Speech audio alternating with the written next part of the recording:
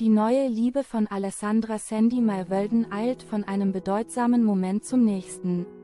Jetzt hat sie es gar nach Hollywood geschafft. Hollywood-reif mag ihre Liebe vielleicht noch nicht sein. In die Traumfabrik der USA hat sie es dennoch schon geschafft. Alessandra Sandy Malwölden, 41, die Ex-Frau von Oliver Pocher, 46, hat auf ihrem offiziellen Instagram-Account Fotos ihres Amerika-Urlaubs gepostet. Mehr noch als der weltberühmte Hollywood-Schriftzug, der über der kalifornischen Stadt Los Angeles thront, fällt ihr neuer Partner Alexander Müller, 38, auf.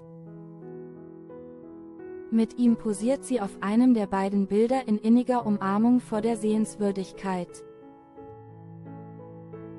Die Liebe sei ein zartes Licht, das darauf wartet, entfacht zu werden, durch viel Selbstliebe, Akzeptanz und Reflexion, schwärmt Malwölden in ihrer Beschreibung zu den Fotos. In einer Beziehung, die von Wertschätzung und Respekt geprägt ist, öffnet sich der Weg für eine tiefe Verbundenheit.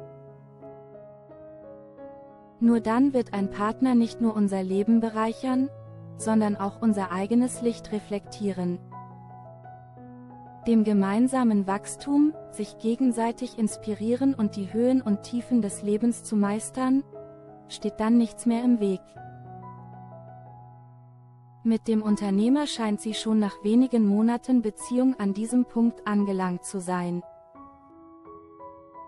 Das verwundert angesichts dessen Expertise nicht, seine Firma Creator beschäftigt sich mit Coachings für Persönlichkeitsentwicklung. Liebe noch keine zwei Monate öffentlich. Erstmals hatte Malwölden im gemeinsamen Podcast mit ihrem Ex-Mann Oliver Pocher über ihre neue Liebe gesprochen.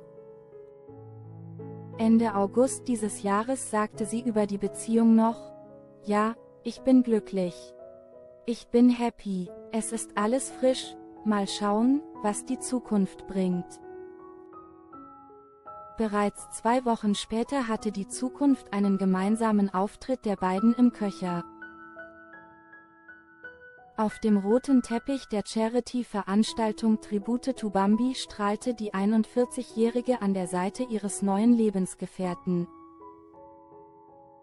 Erst kürzlich zog es sie aus ihrer Wahlheimat Florida wieder zurück nach Deutschland, genauer gesagt nach Köln.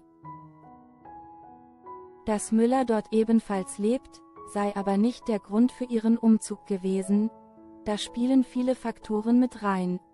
Die Entscheidung fiel tatsächlich schon vorher, aber es ist immer schön, wenn noch Gründe dazu kommen, sagte sie Bild.